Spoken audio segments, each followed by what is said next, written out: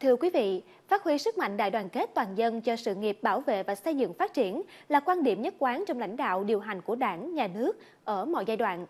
Hiệu quả thành quả từ quan điểm này được minh chứng rõ nét. Khi có sự gắn kết đồng thuận cao thì mọi quyết sách đều thực hiện thắng lợi. Giữ vai trò đầu mối đoàn kết toàn dân, 5 năm trở lại, Ủy ban Mặt trận Tổ quốc các cấp trên địa bàn thành phố Vũng Tàu luôn chú trọng tuyên truyền, vận động nhân dân thực hiện các chủ trương, chính sách, các phong trào thi đua yêu nước, các cuộc vận động vì một mục tiêu chung là xây dựng phát triển thành phố Vũng Tàu ngày càng tốt đẹp.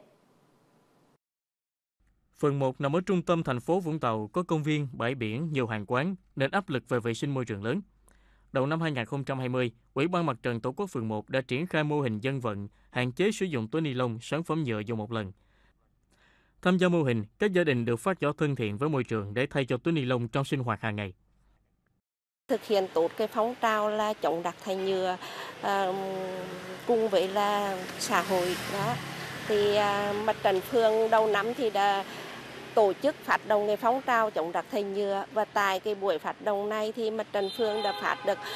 450 túi à, thân thiện môi trường này và đã phát 12 bình nước inox cho bán thường trực mặt trận phường và trưởng ban công tác mặt trận 6 khu phố.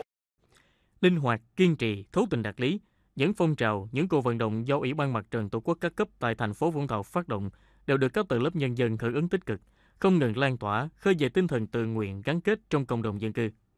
Với cái vai trò là uh, cái tổ chức đại đoàn kết của các dân tộc nên vừa qua trên địa bàn thành phố Vũng Tàu chúng tôi đã à, vận động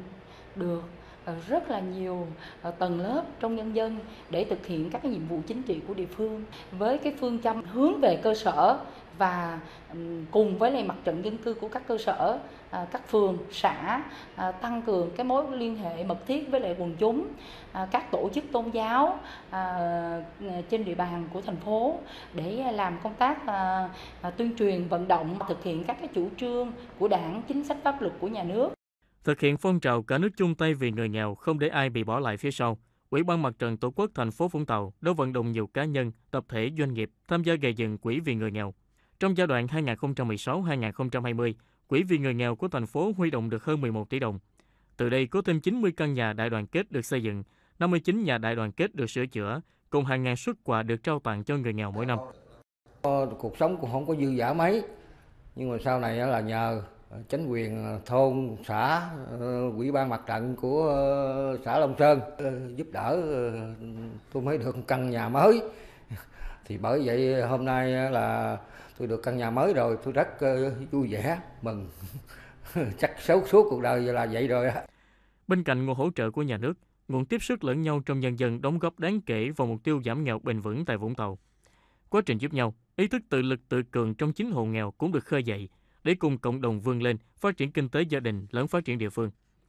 Đầu năm 2020, thành phố Vũng Tàu còn 464 hộ nghèo, hộ cận nghèo, chiếm 0,6% tổng số hộ dân trên địa bàn, giảm 2.784 hộ so với đầu năm 2016.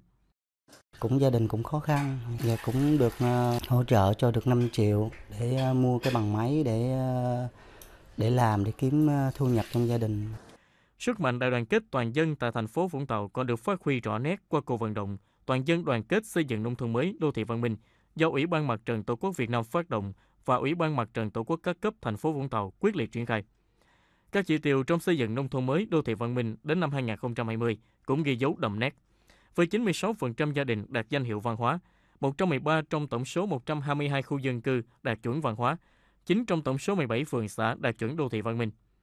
Thực hiện hiệu quả vai trò cầu nối, gắn kết cộng đồng, Mặt trận Tổ quốc các cấp của thành phố Vũng Tàu đã góp phần quan trọng đưa chủ trương chính sách của đảng và nhà nước đến với người dân, đồng thời phát huy sức mạnh đoàn kết toàn dân vào tiến trình xây dựng phát triển thành phố,